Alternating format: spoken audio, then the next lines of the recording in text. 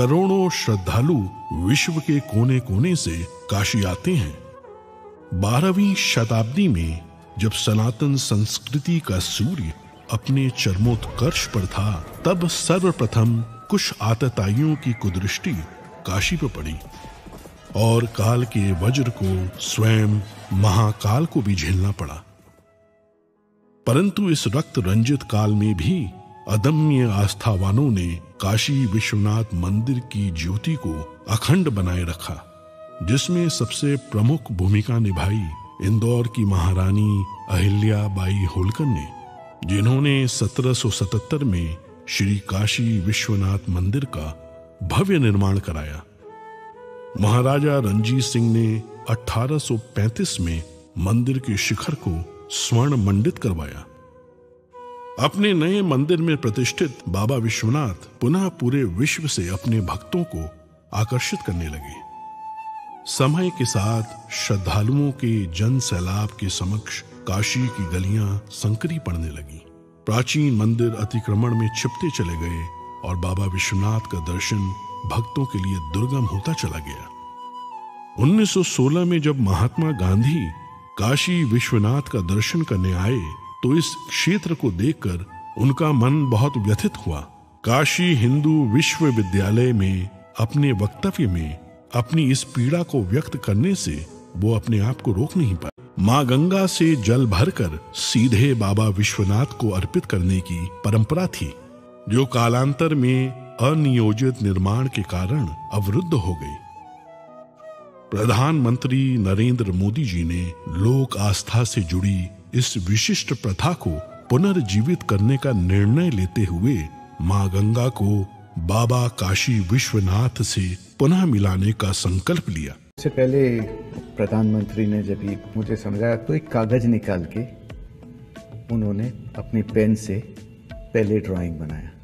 बोले, गंगा से होते हुए चढ़ के पिलग्रिम्स ऊपर आ सके और ऐसे बनाना है कि उनका मन प्रफुल्लित हो जाए। परंतु सामने थी चुनौतियों की विशाल पर्वत श्रृंखलाएँ।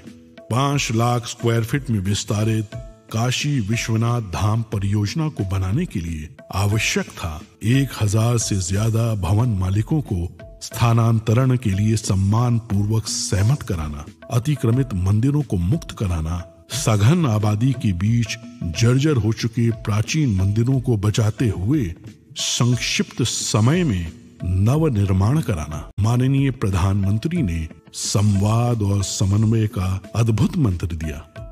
उनकी इस दूरदृष्टि से बाबा का धाम तेज़ी से अपनी पूर्णता की ओर बढ़ने लगा।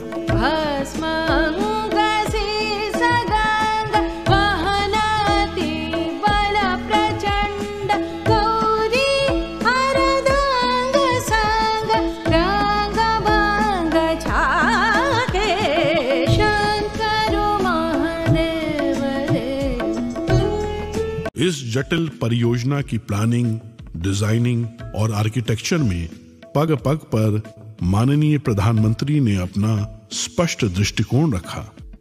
उनके मार्गदर्शन में पूरा परिसर दिव्यांगों के लिए सुगम्य बनाया गया। कोरोना काल में भी वे कार्य की प्रगति का ऑनलाइन अवलोकन करते रहे। प्रधानमंत्री नरेंद्र मोदी जी का निश्चय अटल था। और बाबा विश्वनाथ पर विश्वास अडिग।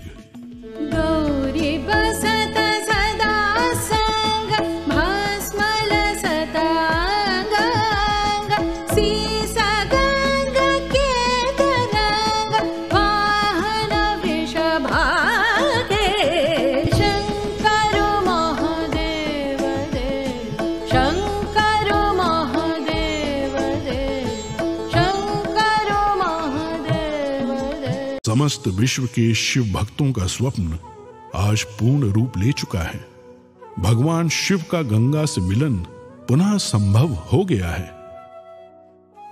इस भगीरथ प्रयास की सबसे प्रमुख विशेषता यह है कि गत चार वर्षों की इस पूरी अवधि में कभी भी दर्शनार्थियों के दर्शन बाधित नहीं हुए और इस प्रक्रिया में जो प्राचीन मंदिर एवं विग्रह पाए गए उन्हें इस संकुल का भाग बनाकर परिसर की भव्यता और सुंदरता को और भी समृद्ध कर दिया गया।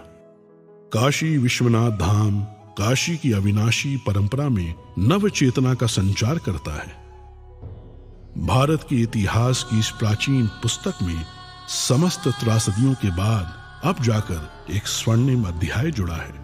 और आज जब भारत के यशस्वी प्रधानमंत्री श्री नरेंद्र मोदी इसके नए स्वरूप का अनावरण कर रहे हैं तो आइए हम सब मिलकर इस ऐतिहासिक उत्सव के साक्षी बने और महान सनातन संस्कृति की दिव्य प्रभा से पूरे विश्व को आलोकित करें।